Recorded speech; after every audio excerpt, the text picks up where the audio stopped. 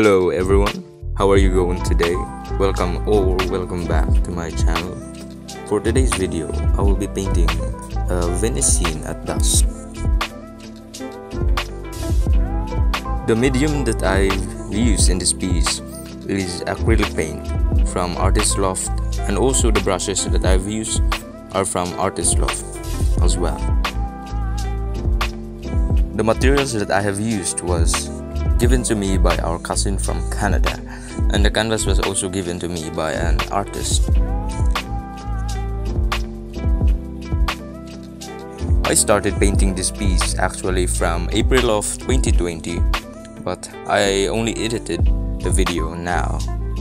I always wanted to edit this video and post it, but I don't have the opportunity back then. So I'm really happy that it is finally posted. It took me a month to finish this piece. I was really lazy when painting this.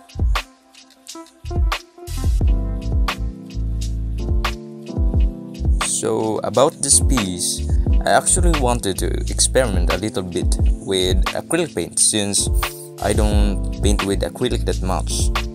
At the time I use gouache paint a lot, so it is quite a challenge for me painting this piece.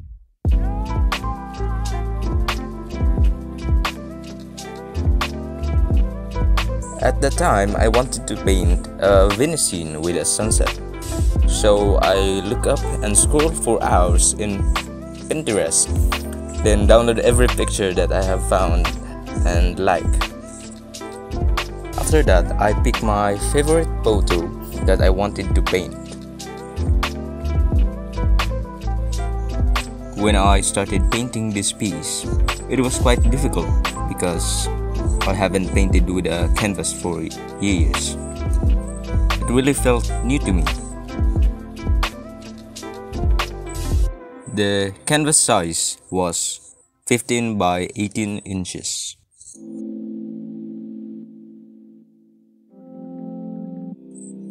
I also finished a lot of audiobooks while painting this piece.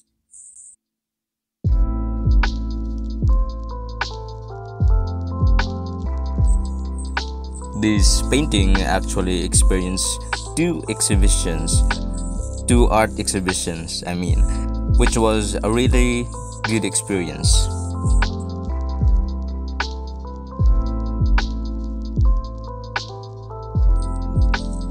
Anyways, I don't really have much to say now, so I hope you will enjoy this video.